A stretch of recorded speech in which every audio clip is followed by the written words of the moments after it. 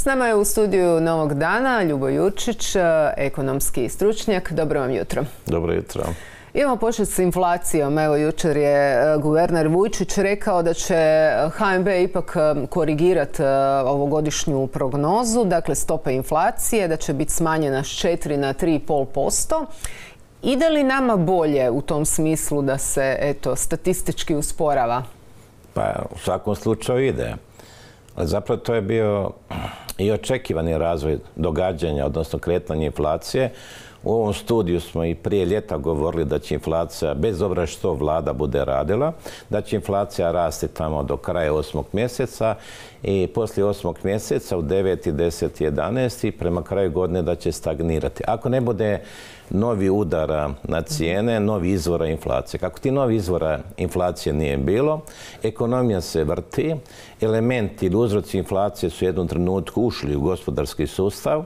E sad, ovisno o strukturi, efikasnosti, pravilnosti tog gospodarskog sustava, negdje se inflacija puno brže rasla, i možda i, tako dalje. Negdje se puno duže zadržala i opet zavisno o strukturi gospodarstva ona tako izlazi iz gospodarstva. E, e tako da kako mislite, bez obzira što vlada radila, recimo svaka vlada tu radi neke političke mehanizme kako da obuzda inflaciju, jer to naravno muči sve građane. Znači, da se sve to pustilo, to bi imalo e, tu amplitudu da, imala bi veću amplitudu. Mhm. Inače, inflacija nije po sama sebi, ovaj, ona je simptom nekog greške u gospodarstvu ili manjkavosti u gospodarstvu ili neke bolesti. To je bolest struktura i efikasnost. Mi imamo malu efikasnost, imamo lošu strukturu. Zato se kod nas inflacija bila veća i duže se zadržava. Ove zemlje članice Europske monetarne mhm. unije u kojoj smo mi, kod nje je inflacija manja. Zato što te ekonomije imaju puno bolje posloženu strukturu gospodarstva i puno su efikasnije. Ali praktički, kad gledamo politički, mi smo naša vlada je dala velike subvencije građanima kroz električnu energiju, kroz ove, derivate i tako dalje. I sad kod u Evropi inflacija pada i kod nas bi padala, u Evropi brže pada. E sad mi prvog četvrtog na preporuku Evropske unije morali bi ukinuti subvencije mhm. na energetiku, na plin i tako dalje. E sad po prirodi stvari inflacija klizi prema tolje. Ako vlada ukine te subvencije, onda će zbog ukidanja tih subvencija doći nove cijene energenata koje će biti više nego što su sada. Ako ne dođe do promjene na tržištu derivata i tako dalje, električne energije. A to je ta razlika između jedne i jednog i drugog gospodarstva. E, ono što isto primjećujemo, e, naravno inflacija i drugdje, međutim e, cijena hrane je rasla više nego kod drugih u, u eurozoni, pa evo čak i turisti koji nam dolaze iz Njemačke i Austrije se čude kakve su cijene u dućanima. E, hrana je svagdje visoko subvencionirana i u zapadnoj Europi i kad gledate da preskočimo čitavu tu priču,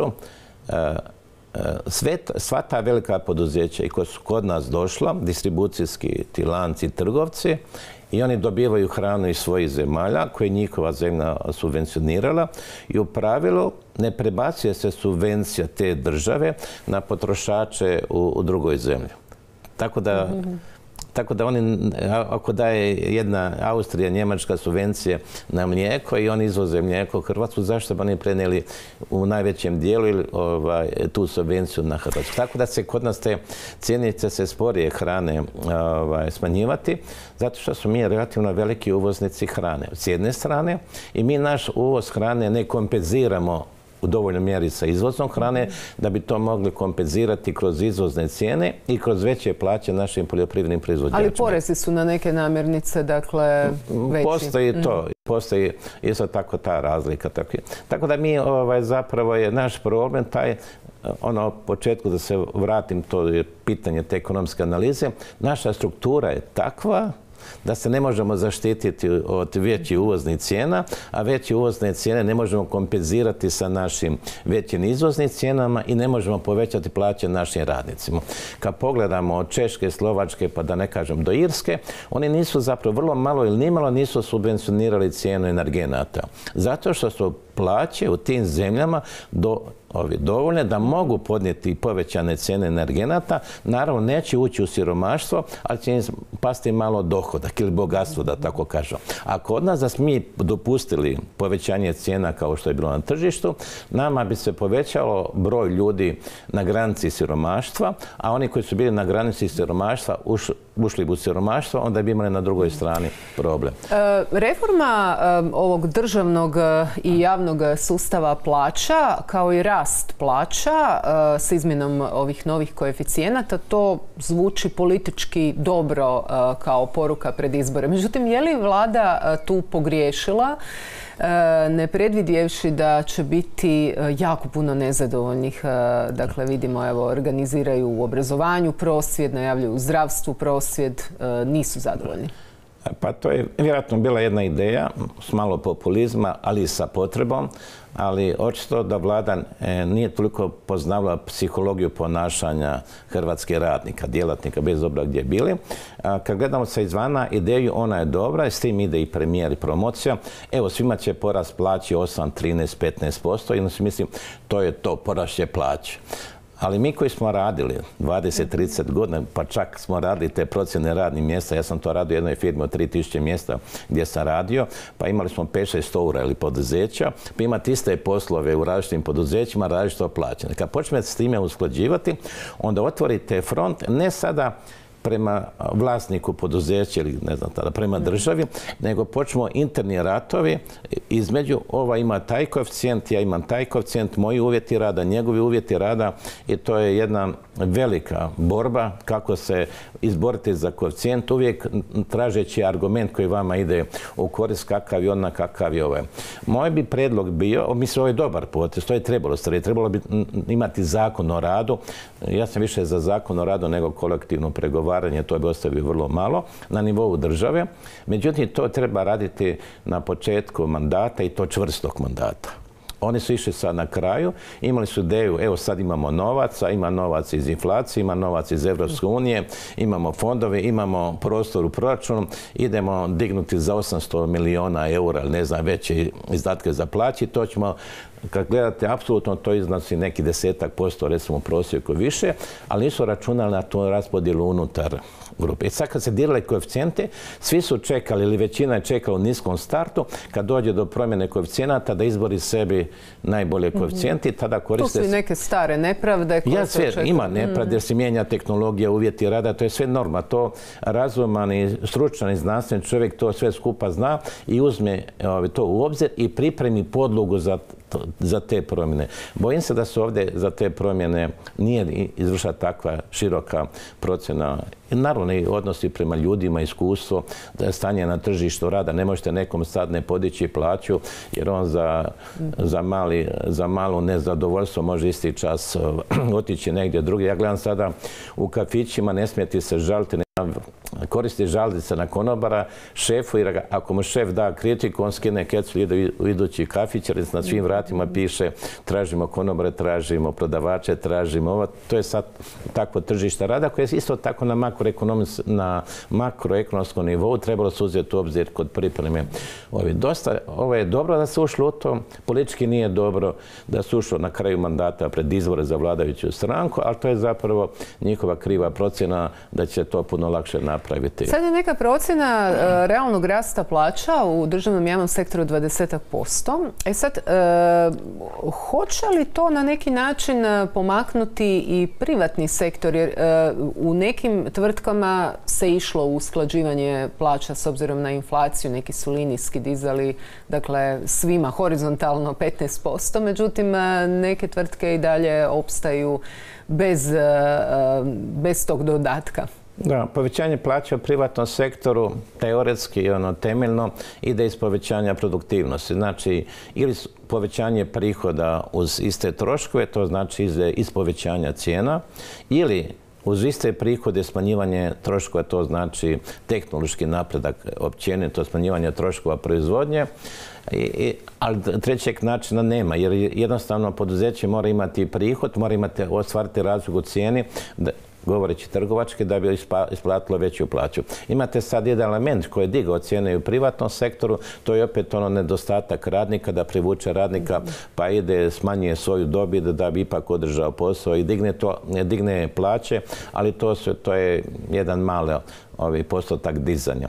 Tako ovdje bi, opet je problem strukture gospodarstva da, da mi ima više proizvodima i da dižemo cijene našim proizvodima, da damo našim ljudima veće plaće i onda to se zovu relativni ti odnosi. Znači, rastu plaće i rastu cijene proizvoda i raste inflacija to je to usklađivanje koje Europa provodi svako malo, e, ili razvijene zemlje, ali stvar je u tome da u jednom razdoblju plaće, raste, rastu cijene i rastu plaće, ali plaće rastu malo brže nego cijene. Tako da realni dohodak ostaje ovaj, sačuvan, kupovna moć i standard građan dostaje. Ali to je zapravo ovaj, pitanje razumijevanja ekonomije.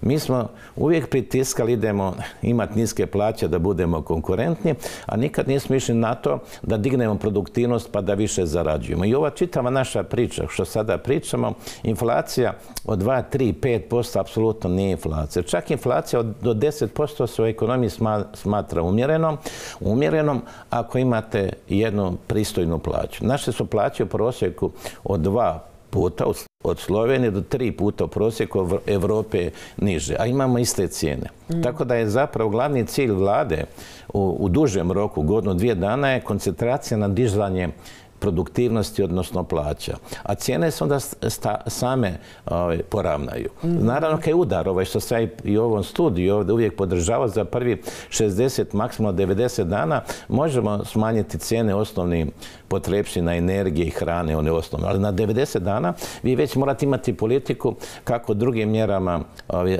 napraviti odnos između plaće i cijena. Ima još sljedeća stvar.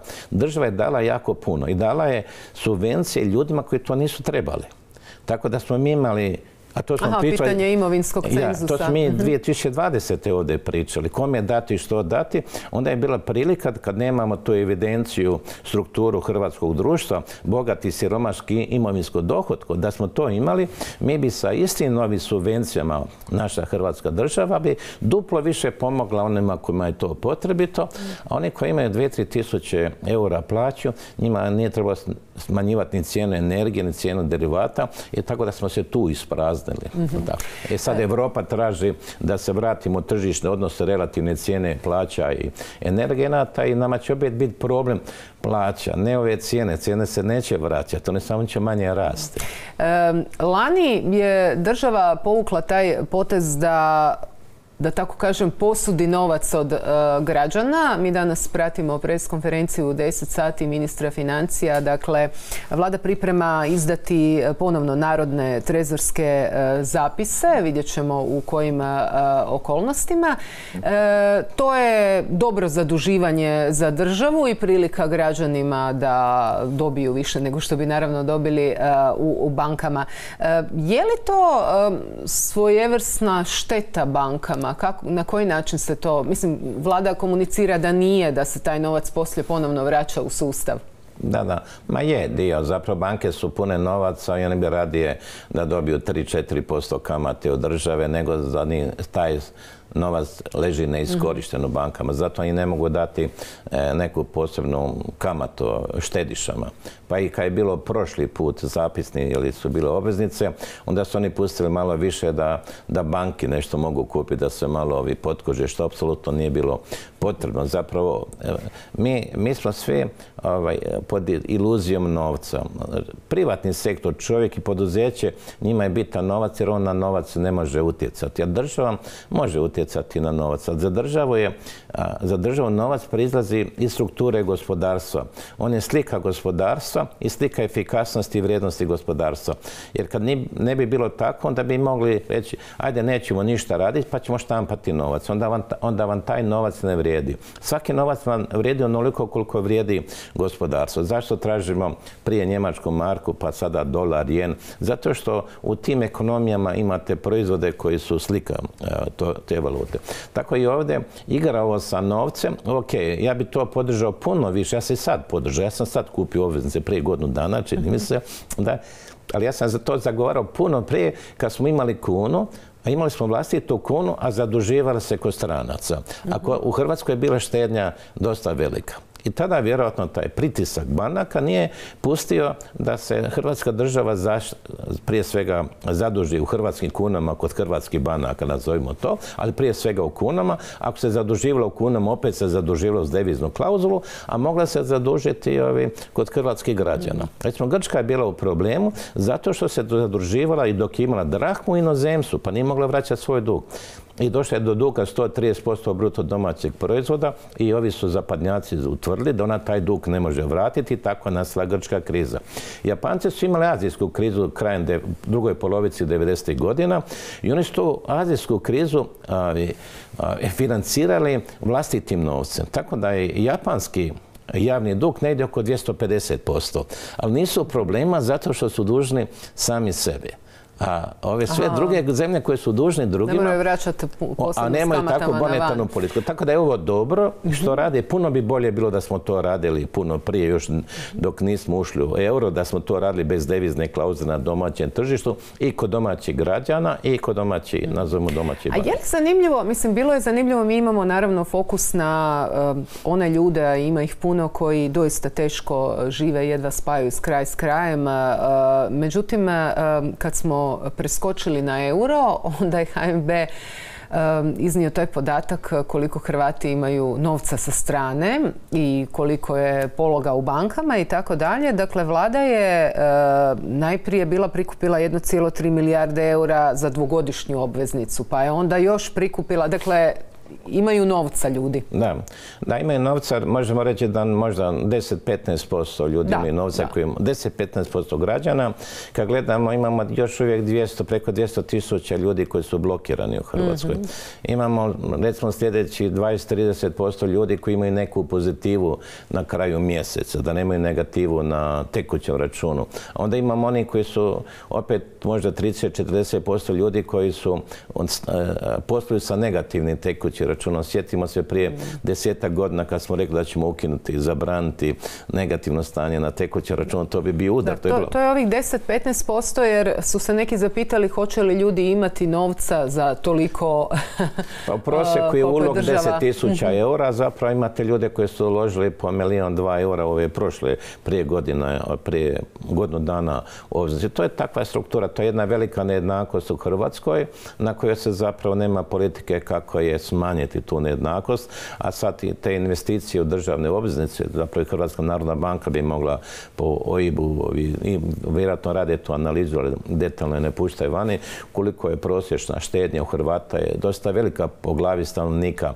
ali kad gledate koliko ima ljudi koji uopće nemaju štednju, kad gledate koliko ljudi poslije sa minusom na tekuće računu, onda tek dođete do ljudi koji imaju iznad 10.000 eura, iznad 100.000 eura, eura, iznad milijon eura na računa, onda će to biti, recimo, zavisi od 10 do milijoni, preko milijona eura, možda će to biti u vrh glave 15% stanovnika, recimo. E, za sam kraj, e, dakle, pratimo što se događa e, u Njemačkoj kao nekoj gospodarskoj osovini u Europskoj uniji, u velikoj su krizi i političkoj, ali i gospodarskoj. Na koji način se to može odraziti na ostatak Europe? Pa, nažalost, sad sam baš potaknuto događa u Njemačkoj ponovo čitao to Weimarsku republiku, Versajski sporazum, pa Keynesa, te velike ekonomiste. On je e, zbog tog po Njemaca pogrešnog ugovora o štetnog ugovora o Versaju, stvorila se nezadovoljstvo kod hrvatskog naroda, kod njemačkog naroda koje je doveo, znamo, do Hitlera i do sljedećih stvari. Gledamo sada ovu situaciju koja je isto tako utjecala Njemačku, da imamo sada rat u Ukrajini, da je e, blokada trgovine s Rusijom, oni su izgubili veliko tržište u Rusiji s jedne strane, s druge strane kupuju energente koji su skuplji nego što su ruski, s treće strane dobili smo kao do dodatnu posljedicu inflaciju. Inflacija je smanjila kupovnu moć njemačkih građana i to je nekoliko izvora nezadovoljstva i tako dalje. A oni su ponosan na radišan i organiziran narod s jedne strane i sad vide da trpe posljedice nečeg što oni nisu direktno izvor tog uzroka, da tako kažem. Imamo još tu četvrtu stvar, ekologija zelenilo, gdje, gdje Europa prednjači u svijetu, vrlo brzo ide sa tim propisima, gdje se poljoprivreda, industrija ne može prilagoditi i sad se to sve skupilo u, u jednom kratkom razdoblju, a birokrati u Briselu uopće to ne razumiju. Oni jednostavno ponašaju se prema ljudima, prema narodima, prema državama kao da su strojevi. Okreni na ovo pregidač pa će stroj prebaciti iz jednog moda funkcioniranja u drugi mod, a društva tako ne funkcioniraju. Ljudi tako ne funkcioniraju. Ljudi imaju svoje vrijednosti, navike, tradicije i ekonomske. Da, vidimo cijeli bunt I sad je to, ja sam na to mm. upozoravao ovako na skupovima prije, to bez obzira da li je zelena ekonomija, ja sam prvi to, ja sam možda prvi za Hrvata, već 88. predavao eksternalije za UNDP i ovaj, ekološku ekonomiju i tako dalje, ali jednostavno to ne može ići tako brzo. Mora se svaki propis i direktiva uskladiti sa tradicijom društva na koje se odnosi. Protiv tradicija ako idete strukture gospodarstva i konačno udorete, tu svaki čovjek osjeti taj negativni efekt i ukrajinske krize i promjene u dobavi energenata i ekološku tu politiku. I sad jedna energičan narod, organiziran, radišan i sad to će se sad raziti pred čitave Evrope, rodio je desnicu. On je jednostavno desnica, nema rješenja, ali suosjeća se, suosjeća se... Ali ima energiju za, Da, i kad gledate ove alternativ for AFD, kako se mhm. zapravo kad gledate tu situaciju, ako čitate romane iz 1920. godina osjetite neku istu viboru negativnu društvu, da samo čekaju da je neko pove. To u Bergmanu u filmu, čini mi se Zmilsko jaje, ono, Serpent Egg, ovi pričamo, veli, gledajte, taj narod nezadovoljna potišta, samo čeka da mu neko vrati samopouzdanje i mm, povede Iskra nastane. Iskra nastane, da. Hvala vam, gospodine Jurčić, na pojašnjenju ovog političkog i povijesnog konteksta, a ekonomskih zbivanja. Hvala na pozivu.